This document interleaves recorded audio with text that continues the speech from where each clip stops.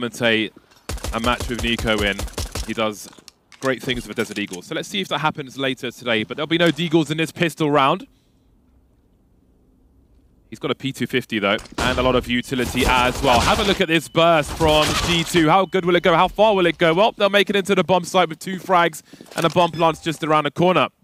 Looks like there'll be two players flanking towards Dark for Big. Three versus four retake attempt. Krimbo has a defuse kit, two flashes as well, but there are many G2 players to find. See JKS now. Oh, that was... Oh, Taps is going to rue that one. That leaves Krimbo in a one versus four. Disaster early for Big on this retake attempt. Takes one in the face, and he might just go to save his... Don't uh, give him the ace. kit at this point. I don't know. Oh, he gives Ooh, him the ace. Nasty. JKS with all five in the pistol round. Well, that's a great way to start things off.